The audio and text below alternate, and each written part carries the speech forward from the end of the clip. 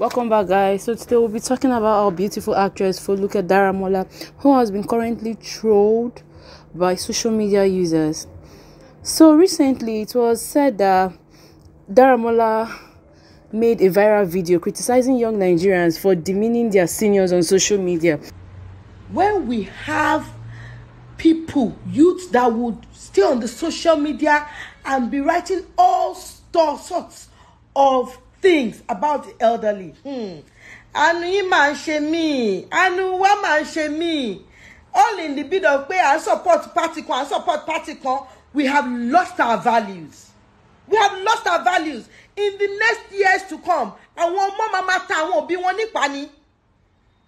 which prompted a response from Yeni Kuti on a live TV show where she said that she could remember back in the years when Foluke also disrespected her so, what goes around comes around. Look at Daramola. I like her. She's everything. I, I talk to her. But I remember when she insulted me. Because I just Googled her now. Yeah. She's 45. Yeah. I'm 62. And we did a job. I, the I, animation called me to do a job. Girls' night out that time. Eh? How many years ago? like maybe 30. Oh, wow. I'm 62. I guess about 30 something years, 20 something years, longer time ago. I, I was only doing what they asked me to do. In her quotes, Foluke had gone further to her Instagram page to make a video saying she never met Yeni Kuti in her life. She has never met her in her life. Some of my colleagues and my friends have called me and have tagged me on the interview that um, Auntie Yeni Kuti did on Your View and alleging that um, I was rude to her years ago. First and foremost, um, I have to come online to do this because um, she made the allegation public. Though I've spoken with her privately and we have um, spoken about it, slugged it out, and I've apologized to her. But I still have to come and do this. Now, the being rude to people that are my mates is not in my character. Talk less of people that I am, that, that are older than me. And Auntie Emmy is someone that I hold in high esteem. She's an older colleague and Igimuji no sorry. But um ó máa ń sọ wípé ẹni tó bá yàgbẹ́ òun ó máa ti gbàgbé àmọ́ ẹni tó bá kó ìgbéyàn ní gbàgbé.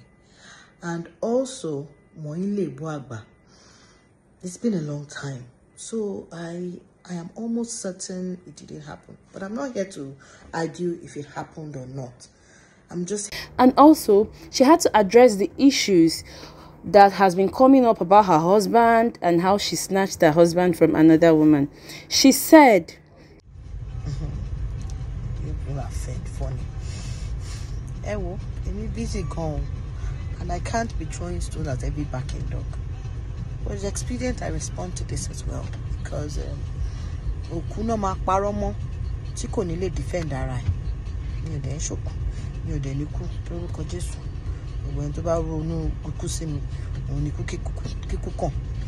Now, I first and foremost, I am not an academic. Everybody knows that I'm an actor. So I don't have any business whatsoever in Kayode school.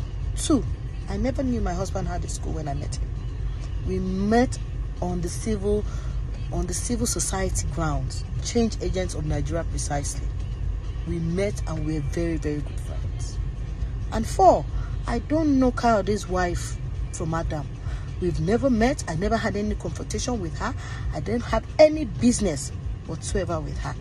Whatever transpired between her and her husband, I don't have the faintest of idea. Also, Bosworth, from what Kayode Salako told me, my husband, is owned by Olukayode Ezekiel Salako. He started that school when he was in his humble beginnings. And mind you, if it is not his own by now, about 13 or 14 years ago, the true owner of the school should have collected the school from him by now. Besides the fact that I don't even know what is going on in that school. I can't remember the last time I stepped my foot in that school. In that school. And five, as I said, I am the only legal wife Oluka Ezekiel Salako. My husband is a polygamist. He has kids from other women. I can't crucify him because of that. My husband is not Dangote. He's not Femi Otedola. We are not stupendously rich. But we are happy and content. Because what Femi Otedola has and uh, Dangote have, my husband might not have.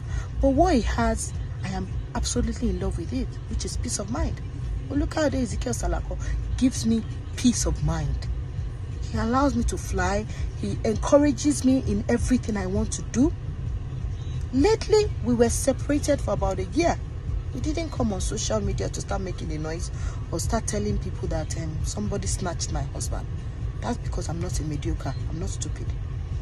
I'm complete in myself. If a man decides to walk out of my life, then that is his um, kettle of fish. My first marriage, my first marriage, my, when we decided to walk out due to abuse or whatever, it wasn't. It was. It will never be a situation of me saying somebody snatched my husband. That is really, really very cheap. Because is a man a commodity that you snatch? If a man decides he wants to walk out of a relationship, are you going to are you going to force him to stay? When when I I was ideologically at war with my husband, we decided that we wanted to go our separate ways.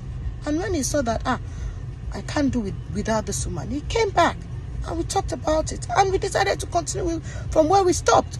That is where maturity lies. I didn't come to the social media to start saying somebody snatched anybody. So where is where are we getting this impression that somebody snatched?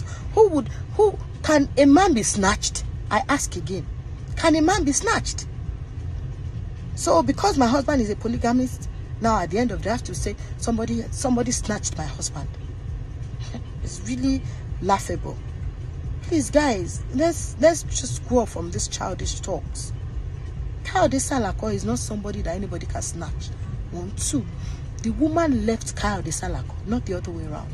She decided she was stepping out of the marriage for whatever reason he had.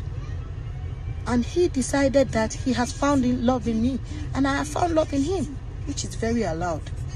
We are two true content individuals that find fulfillment in one another and we should never be just even if you want to crucify us crucify yourself because we are entitled to our own emotions I, I understand that people are not happy when you are happy. So what people try to do is sell bitterness to you but i'm sorry i'm not buying that. I am happily married to my husband not somebody's else's husband. I did not snatch anybody's husband. And if anybody feels that i snatched her husband that means it's saying that the person is a commodity. And i know for sure for sure fact that my husband is the typical African man that can never be snatched. So please don't let it get knows her husband is a polygamist and men are not commodities that should be snatched. He found love in me and I found love in him and I am happily married with my husband.